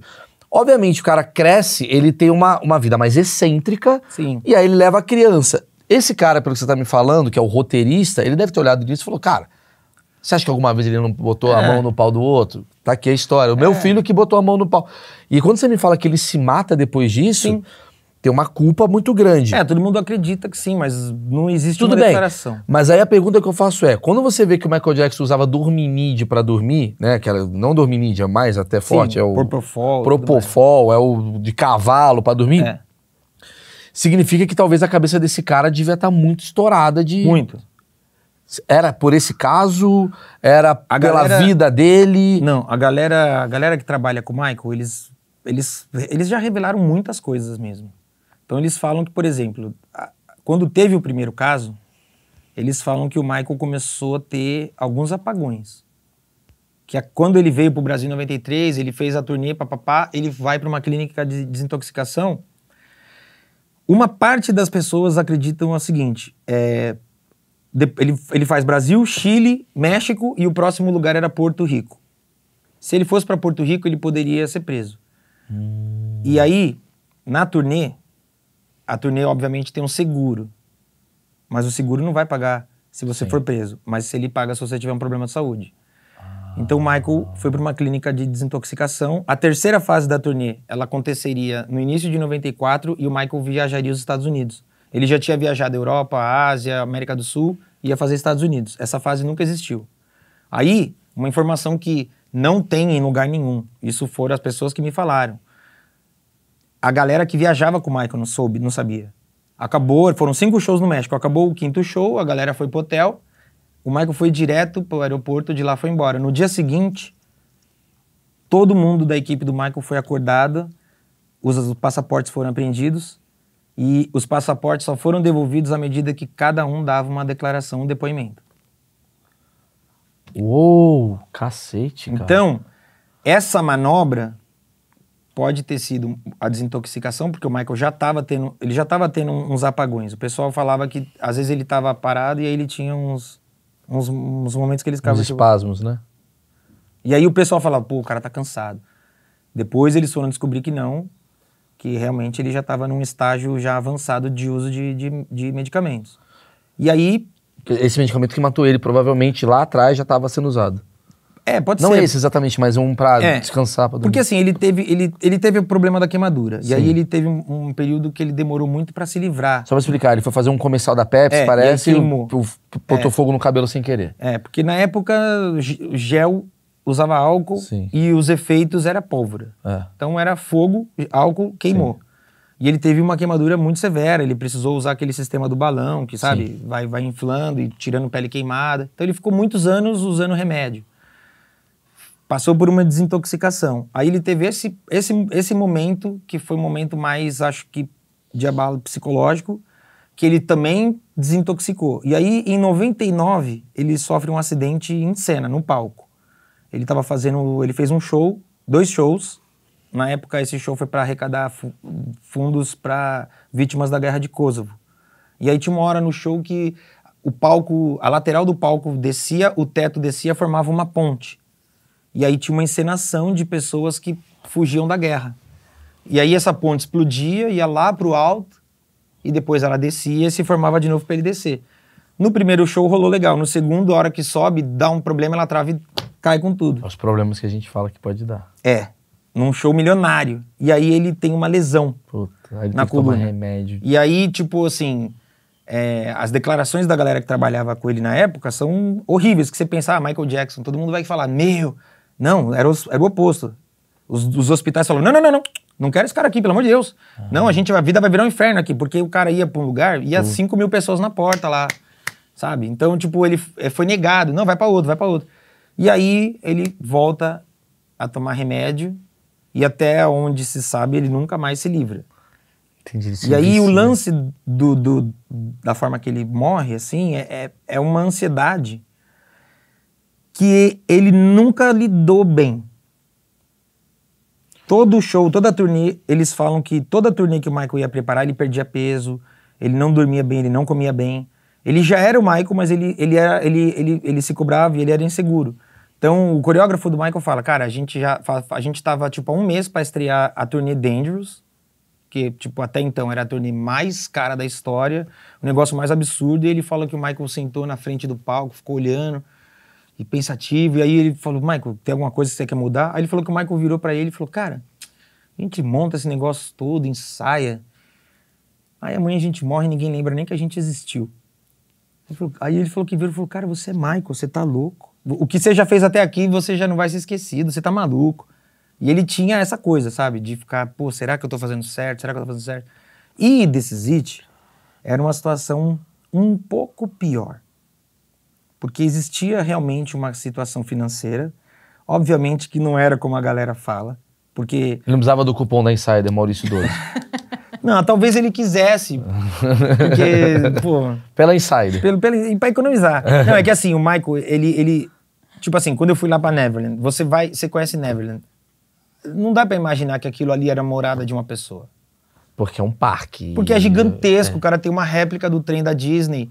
E aí, óbvio que quando eu fui, os canteiros de flores não existiam mais. Mas estava ali o lugar. E aí o cara falou pra mim, ele falou, ah, os, os, os jardineiros de Neverland, o Michael tinha uma relação tão boa com o Disney, que sempre que vinha um jardineiro novo trabalhar, ele mandava pra Disney. Estudar. O cara aprendia o trato do- do- das flores. E, e as flores de Neverland tinham o mesmo tratamento das flores de Disney. E aí o cara falou que o Michael ele era assim. Tipo, eles tinham tinta pra tudo em Neverland. Que se descascasse um bagulho durante a madrugada alguém ia lá e pintava. Uau.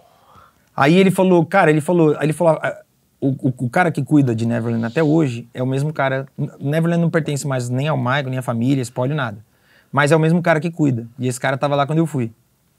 E aí ele fala, cara, a, a- conta de luz, ele falou lá, eu não guardei esse valor, mas era um valor absurdo, assim. Astronômico. Ele falou, cara, tipo, cinco anos de conta de luz da minha casa não era um mês aqui. É, é, tem uma cena pra mim que é mais emblemática, que é aquele documentário que aquele cara lá. Aquele. Um, Ah, o Bashir? É isso. que é Ah, um- que ele vai comprar? Pô, cara. Aquele é emblemático. Já viu isso daí? Que Não. ele chega numa loja, acho que uma das maiores lojas de Londres, assim. É, é em Las Vegas. Em Las Eu Vegas. fui nessa loja aí. Que é uma loja de, arte, de, de cerâmica, de, de É, se chama Regis Gallery. Regis Gallery. E aí é uma loja que vende decoração, artigos decorativos e tal, e é, é tudo exclusivo. Então, Tá no tipo assim, YouTube. os, caras, os caras têm uma mesa dessa, que é feito por um designer tal, e o cara foi quebrando pedrinhas de não sei o que e foi colando, e aí essa mesa custa 200 mil dólares. É um bagulho E bizarro. era o Michael Jackson nessa loja, como se fosse eu, sei lá, comprando. Puta, amendoim. Ele, ó, Quanto custa isso? 400 mil, me vê dois. Isso daqui custa quanto? É. 300 mil, quero três. Ah, compra isso aqui pra minha mãe. Era assim, É. não é verdade? Então, o- eu, fui lá. E aí eu tive. E você comprou porque você é muito fã do Michael Não. Eu sou um bilhão Mas eu cheguei pro cara. eu cheguei lá e aí eu vi, cara, de- o Michael ele tinha muitas estátuas espalhadas no jardim. Eram estátuas de bronze de crianças brincando. E aí quando a gente chega na Regis Gallery, tem um segurança gigante na porta que você não pode puxar o celular, porque não pode ser filmado nenhum artigo. E aí tem um, uma- um cartaz. E aí, óbvio, eu entrei sem. Quando eu entrei, eu vi um- um- uma, uma escultura de um tronco de árvore e duas crianças pulando. E eu fiquei, tipo, muito impressionado, cara. Porque eu falei, porra, é igual ele tinha. E isso, eu visitei isso, tipo, uns cinco dias antes de saber que eu ia entrar em Neverland. Eu nem sabia que eu ia entrar em Neverland. Aí eu falei, caraca, eu não acredito que eu tô vendo isso. E eu fiquei, tipo, muito chocado. Sim, é o bagulho que você já viu, É. né? E aí, tipo assim, eu tava com a, minha esposa e o, o Hugo, que é um amigo nosso, que é um cara que ajudou demais a gente depois que ele conheceu o show. E essa viagem foi um presente dele. Eu tava lá. Aí o, o Hugo e a Priscila ficaram de longe, que eles viram que foi uma parada que Saltou os olhos. foi uma parada me tomou assim, eles ficaram de longe. Aí o cara pegou e falou: "Quem é? Ele gostou, né?" Aí o Hugo puxou um livro. Eu não sei se você lembra um livro que eu te dei quando a gente fez a, Ou no, no, no, no- O Allianz. Ah, sim, sim, sim, sim. O, li- o Hugo em puxou um livro daquele. Aí o Hugo falou assim: é, porque ele é muito fã do Michael. E aí o cara pegou o livro e fez assim: ah, eu amo esse cara. Aí o Hugo falou: não, esse cara você não ama. Não, amo. é ele. Eu amo. Ele foi meu amigo pessoal. Aí ele falou: não, não, esse cara é ele ali. Aí o cara pegou, botou o óculos. Ele falou: esse cara é aquele cara? Ele falou: é, meu, esse cara ama o Michael desde criança. O sonho dele era vir aqui porque ele viu, ele pegou e falou: ah, mentira. Esse cara é ele? É. Aí o Hugo já puxou o celular e falou: aqui, ó, ele canta aqui. Não, peraí. Vem aqui. Aí me chamou e falou: ó, eu sou o dono desse lugar e eu vou te levar num lugar que ninguém visita. Aí tinha uma parede falsa. Bagulho de. Parecia bagulho bem bate-caverna. O cara foi lá. Arrastou a parede falsa, tinha um elevador. Michael Jackson está vivo. Imagina, tá Puta merda, seria o melhor plot twist da vida! Caraca, mano, eu ia morrer! Ele abre também Michael Jackson. Não, bicho. Dançando. Aí ele É pegou, o Naldo. ele pegou e abriu. Esse lugar era um lugar pra pessoas especiais. Você foi no lugar de pessoas especiais. Mano, e eu tenho tudo gravado isso daí, porque ele abriu e falou: ó, filma aí, vai, vai, filma o que você quiser. Lá, ele tinha foto pra caraco do Michael Indo no lugar. visitando. E aí, tipo, eram uns lugares. Minha mulher, ela falava, Rodrigo, pelo amor de Deus, pelo amor de Deus, não toque em nada, não toque em nada, não toque em nada.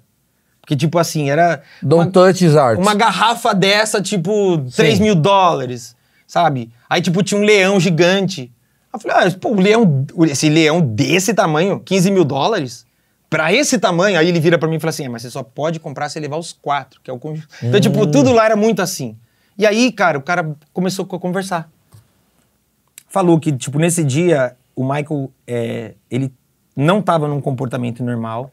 Muito provavelmente por conta de estar sendo gravado, ele teve esse comportamento. Mas que essa galeria foi a galeria que o Michael comprou praticamente todos os artigos de luxo que ele tinha em Neverland.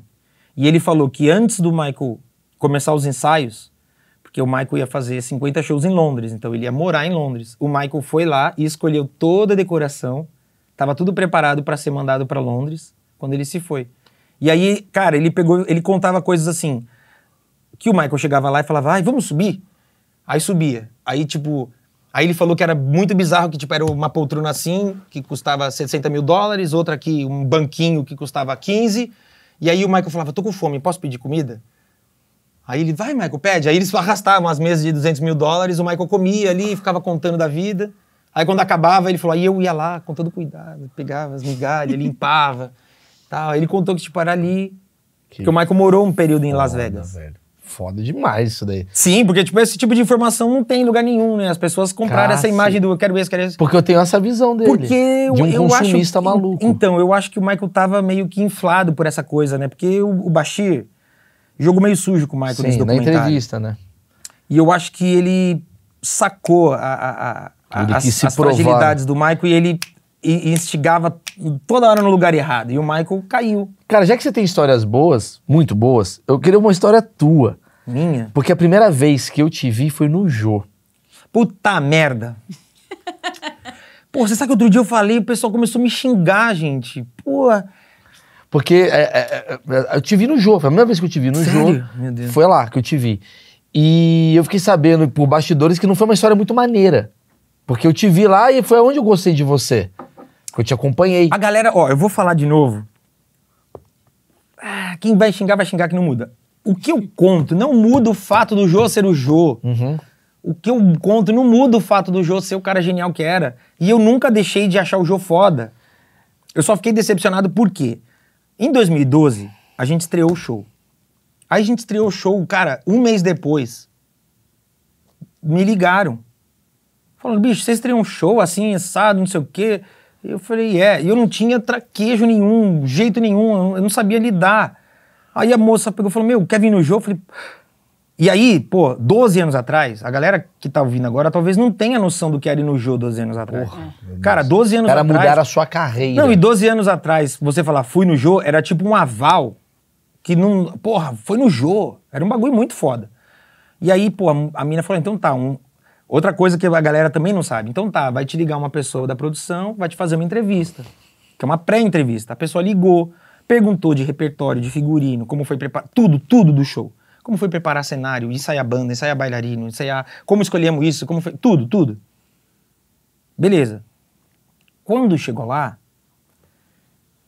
já, já deu errado, porque tinha um artista internacional. O Jô era assim, né? Gravava as entrevistas num dia e o musical no outro. Tinha um artista internacional que ele não podia gravar o musical no dia seguinte, que ele ia embora. Tinha que gravar o musical naquele dia. Então ele, o Jô gravou dois programas, pausou, montou a banda inteira, passou som, gravou o musical, desmontou pra voltar. Quando volta, o Jô já tá de mau humor. Ele E era um senhor. E ele volta comigo. E aí eu acho que o Jô, como, como pessoa como pessoa do humor, cara de TV, ele, ele, eu acho que ele foi pro lugar de conforto dele. E o lugar de conforto dele foi me zoar. Ah. Então, tipo assim, eu fui com uma expectativa de falar do que a mulher me, me perguntou, de falar do show, de falar Isso da daqui. produção. Você foi pra Isso. fazer o achismos. É! E aí eu cheguei lá, eu cheguei lá, a primeira pergunta dele foi: e aí, você se droga também, igual ele? Aí eu, eu falei, nossa, não. Não, mas não, mas ele, não- ele não se droga, né? Ele usava, ele usa, é, era remédios ali. Aí o Jô já rápido pra caralho. Sim, que vende num lugar chamado drogaria. Aí a plateia, kkkk. Eu falei, nossa. Aí eu falei, mano. E aí, ele não tava animado. E, cara, eu Não não, julgo. afim. Eu não julgo, porque, cara, Sim, sim, relaxa, relaxa. não, não, é que tem que falar pra galera que assim, vo- você que trabalha com qualquer negócio que você trabalha, você não, não é todo dia. Eu amo meu trabalho. Tem dias que você tá ruim e você vai, porque você tem que fazer aquilo. Sim. E aí, quando você ama o que você faz, você descobre maneiras de virar essa chave e se divertir com aquilo. Sim. Eu acredito que foi o que aconteceu com o Jô. Só que aí eu só tomei bordoada. E aí a minha, a- o meu lugar ali foi, ok, eu não vou bater de frente.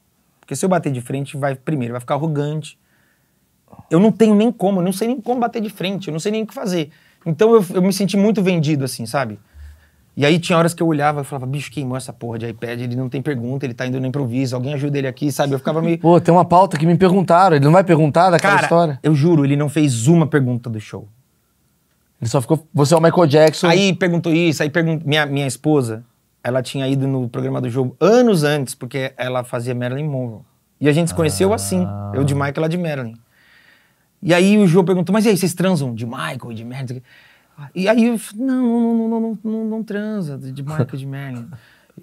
E eu pensando, pergunta do E você show. pensando, quatro elevadores que eu botei Per- pergunta nessa. do show, e aí ele, pô, e tal. E aquela entrevista da ópera, e porra, a ópera gordona, não sei o quê. E eu, tipo, sim, tal. E aí, tipo, eu meio vendido. Mas, tipo assim, porra, tô no Jô, né? E aí, tipo, eu fiquei chateado porque eu fui com a minha expectativa. Mas eu lembro dessa entrevista. E aí, então, essa entrevista aconteceu um bagulho muito bizarro. Os fãs do Michael, tipo, bicho, eu, eu era do era Orkut essa época. Eu fui cancelado no Orkut. Eu lembro desse período. Bicho, eu fui cancelado porque os fãs do Michael todos falaram que eu tinha que levantar e, e xingar e dar um tapa na cara. Onde viu você não jogar um copo d'água na cara dele, ele fez piada Você e você endossou. riu. Ah, Você é um vendido, não sei o quê. Os fãs do Michael começaram a me xingar que nem louco.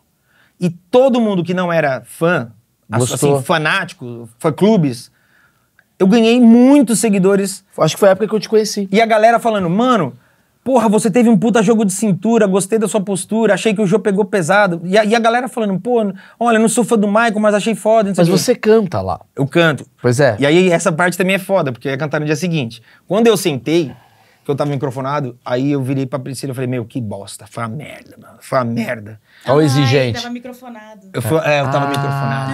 Aí eu falei, foi uma merda, isso aqui foi uma bosta. Aí a Priscila fazia assim, ó. Aí eu falava, fica quieto teu caralho. Eu- ele falou um Eu vou monte- te arrebentar, Eu falei, cara. eu tô aqui. Eu falei, bicho, por que, que ele fez isso, cara? Eu fui, porra, não tô acreditando. Ela fazia assim, ó. Aí eu peguei e falei assim, para, eu vou embora. Aí ela fez assim, ó. Aí eu juro, eu fiz assim, ó. Ah. Mas eu tava tão bravo que eu juro que eu fiz assim, ó. Se tiver alguém no suíte agora ouvindo, eu quero que se foda. Eu odiei participar. Não foi legal, foi uma merda. Eu quero que todo mundo tome no. Aí comecei a xingar. E a minha. A, a Priscila fazia, mano. Aí eu levantei, primeira coisa que eu falei é falar, eu falei, pode falar que eu não vou vir fazer porra nenhuma de show, amanhã eu não vou gravar porra nenhuma, não tô nem aí. Que era o musical. É, não, mas como você é louco, não sei o quê. Aí, porra, mulher, cara, mulher é foda, né? Priscila virou pra mim e falou assim, ó. Ele te deu uma rasteira na entrevista. A sua chance de Porra, levantar... lógico, lógico. A sua chance de levantar e fazer uma performance da hora, Porque senão é só o bobão. que a galera vai falar, porra, o Gil podia ter respeitado É, mais esse cara. senão é só o Mano, bobão. Aí eu falei, Aí, Tá aí bom, foi pro Priscila. desafio. Aí eu fui. Cara, foi, literal, foi literalmente o que aconteceu. Todo mundo que não era fã do Michael enxergou dessa forma. Pô, o João não levou a sério um trampo que é muito sério. Porque eu fui lá, banda completa, bailarinos completa, efeito, gelo seco, tudo. Eu lembro disso, eu lembro. Eu lembro da tua performance. Não, essa performance foi uma performance. Abriu muitas portas pra Pois mim. é, a galera cara. falou: Meu, é de verdade, nossa. Pô, o cara tá cantando. Mas então- é muito doido ver o bastidor, como você imagina as coisas. Porque na tua visão foi a pior entrevista da tua Foi. vida. E na verdade não. E você só tá aqui hoje de alguma maneira porque eu vi essa Sim, entrevista. cara. E foi E é- ali que eu e olhei é- e falei, esse cara é bom demais. E é bizarro porque a galera foi do Michael, descia além em mim, cara. Eu fui cancelado, deu, deu, deu desativar o Orkut, assim. Deu não aguentar, deu falar, Bom, se você quiser me xingar, agora é o momento dos fãs do Michael mais uma vez odiarem o Rodrigo Teaser, tá ligado Não. aqui. Não. Aí, bicho, aí eu comecei a entender que o que eu fazia, ele tinha que ser feito pra quem é fã e pra quem não é. Sim. Eu tinha que sim. saber dosar quem é fã e quem não sim, é. sim. Foi nessa, nessa hora que. Foi logo no começo do rolê. Eu tinha feito um show, cara. E aí eu falei, pô, o que eu faço não é só pra fã. E não é pra quem não é. Eu vou ter que, eu vou ter que viver sempre nesse lugar de saber dosar. E É. aí foi isso. E aí, pô, nunca esqueço a, a- a diretora, cara. Quando acabou assim, eu indo pro camarim arrasado. Aí a diretora. Ana Porlancho. A, a diretora não, a. Alguém Produtora. lá. Ela chegou e falou assim: Meu, parabéns, o Jô te amou, não sei o quê. Aí eu lembro que eu falei, porra, nem me chama o dia que ele tiver com raiva de mim. mas, Fica cara. tranquilo que não vai te chamar mais. É, mas, bicho, foi tranquilo. tipo assim, depois passou. E assim, por que, que eu, eu, eu, eu guardei essa mágoa? Porque, pô, eu, sab... eu sabia que a galera ia pegar mal. E a galera pegou mal. E a galera pegou mal por não entender que, tipo assim. Cara, eu tava caracterizado de Michael. Eu não podia chegar e falar, cala tua boca. Não é assim. Sim, sim. Sabe? É, porque também tem um problema, né? Você caracterizado de Michael, você não pode fazer muita coisa. Não, cara, já teve, vixe, vários públicos que me, me solicitaram aí que eu falei, ah, não dá, cara, de Michael eu não faço. Ah, mesmo? É, não tem como. Você tem um bom senso de. Ah, cara. tipo- Michael Jackson, joga na Blade, foguetinho, tigrinho do Michael Não, Jackson. jogo- Tigrinho, de jogo eu já recebi muito. Jogo do mano. tigrinho do Michael De Jackson. jogo eu já recebi muito. Aí, tipo, ah, não, mas então tá, sem tá de Michael. Eu falo, não, não rola. Mas já recebi, tipo, de cachaça. Aí não dá, né, meu? Cachaça, eu de Michael. É muito E é bom. Você vê foda que tem um respeito Mano, pelo ídolo, parei, né? mas, mas eu nunca parei pra pensar, não, porque ele tem bom senso. Não, mas é é a foda que eu fazia, eu falo, pô, essa grana É uma ajudaria, grana, mas para pra mano. pensar, tipo assim, Michael Jackson construiu uma história, um legado, pra terminar a vida num cara do Brasil falando, ô, tigrinho maluco, Tigrinho, hein? passa Ó, pra cima. Pra usar a camisinha do Michael Jackson. É, Fala, não- mano, não o cara dá, fudeu, cara, camisinha do Michael. O cara vira o bagulho que não pode. Outro dia eu fui, cara, uma vez eu fui chamado, pô, pô, papo sério, isso é. Hoje eu dou risada, na hora eu fiquei chocado. Uma vez eu fui chamado pra fazer filme pornô lá fora. De Michael Jackson? De Michael. Juro por Deus. Aí o cara virou pra mim e falou assim: É, cara, era um gringo, né? Aí ele, pô, nice to meet you, tal. Eu sou um cineasta, queria fazer um filme. E aí eu falei: Fazer um filme? Tipo, como que faz? Como fazer um filme? É, fazer um filme adulto. Eu falei: Não, não. Não, não, não, não, calma, calma. Eu falei: Não, cara, é que assim. Não, não, não, não, não, não, não. Não deixava eu falar, cara. Já, não, não, não. Lá, bicho, eu não sei se alguém caía nesse papo. O cara teve a manha de virar pra mim e falar assim: você vai gravar o filme lá fora, ninguém vai saber no Brasil. Eu falei, caraca, internet, você não- que mundo você vive que não tem. irmão, é o Michael Jackson. Porra, você não, é e aí internet, todo. mano, que papo é esse? Ninguém vai saber no Brasil. Você acha que a gente tá em 1960? Mano, juro. Eu perdi. Não, cara, sério. A história vai ficando pior, juro. Que ele, eu falei, não, obrigado. Ele falou assim, tá bom, eu deixo você escolher o elenco. Eu falei, não, não, não, obrigado, obrigado, obrigado, eu não quero. Mano, a última cartada do cara, juro. A última cartada do cara. O cara vira e fala assim, ok. Aí ele fala assim, você não precisa então transar com ninguém. Você aceitaria, hã? Porque esses caras têm hã? Um casal transando. Você só dança em volta dele. Bicho, eu ficava assim, ó.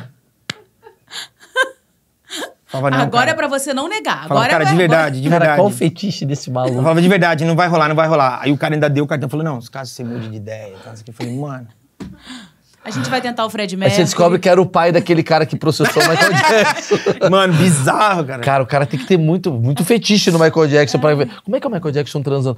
Temos um cara no Brasil que parece com ele. Por favor, deixa eu ver. Tem um milhão de reais. É isso, ele- E ele foi no brasileiro, né? Ele, cara, esse cara vai aceitar. É, o brasileiro vai brasileiro aceitar. vai aceitar, Ele vai- com pô, certeza. É óbvio que o brasileiro Ele não aceita. vai negar. Cara, eu- aqui, aqui a gente tem um pacto de não ser o, o Vilela. Um abraço, eu gostei pra Vilela. caralho, fui no Vilela, eu gostei. Mas, não, mas você ficou quatro horas e meia. e, e- e já tá tendo agora. Inclusive, eu queria. Muitas celebridades já estão juntas aí no cárcere privado que o Vilela proporcionou. Teve pessoas que perderam momentos com filhos por conta de entrevistas no Vilela. Vilela tá sendo processado, poucas pessoas sabem disso. Teve uma entrevista do Vilela que durou sete meses. Então, assim, pessoas perderam emprego por conta da entrevista. Então, a gente tem um término que não pode passar de uma hora e meia. Acho que a gente chegou em uma hora e meia já. passou. Passou. Então, porra, é, acho que foi um dos maiores. Ah, mesmo? desculpa, eu falo. Não, não, porque foi muito bom. Não que os que são menores são ruins, mas é que eu me Cheio perdi aqui no tempo. falar. Eu tô aqui, né? Faz o L, faz o Arma, Dória, tamo juntos. Crianças, é o Toys, tem que fazer todos pra agradar. muito- São muitos braços, né? Coitado de quem não tem braço hoje, que não participa dos movimentos sociais do Brasil. É uma pena. Mas também tô com a galera sem braço. Tem que falar com todo mundo. Tamo junto. Um abraço, tal. Michael Jackson, Moonwalk. Galera, eu queria que vocês conhecessem o trabalho do Rodrigo, caso vocês não conheçam. Eu vou deixar aqui na descrição do vídeo. Eu, particularmente, eu, eu nunca fui no show, assim, no sentido de, porra, é, é, ver essa experiência completa, mas eu acompanho o Rodrigo nas redes sociais, que está aqui também na descrição. E eu tive um momento muito interessante com, com o Rodrigo, que foi na pandemia. Foi uma coisa muito engraçada, que eu tenho o Varanda Gourmet, que é meu projeto com o Daniel Zuckerman, e a gente fez um show no Allianz, tava lotado, tava lotado, são 380 carros, né, porque na época era drive-in. E a gente fez uma brincadeira com ele que era. O Daniel falava assim, galera, não sei se vocês sabem, eu tenho um sonho de criança, que era cantar pra todo mundo e eu imito o Michael Jackson. E aí, a gente fingiu que o Michael Jackson era o Daniel Zuckerman. Ele começou a cantar e era ele no fundo dublando e de repente ele falou, cara, eu vou imitar. E muita galera até hoje achou que o Daniel Zuckerman imitou o Michael Jackson num show no Allianz Parque. Não, não era. Tirando a cabeça do Mickey, mostrando que tem um durenho por baixo, na verdade não era o Daniel Zuckerman, era o Rodrigo Teaser que fez aquela participação. Então vou deixar aqui e toda a minha admiração por esse cara que é um puta artista. Obrigado. Valeu, galera. Deixa like, por favor, ajuda. Não precisa nem assistir o vídeo, só deixa like e encaminha. Só pra gente não perder o vídeo. Um abraço, tchau. Cortou?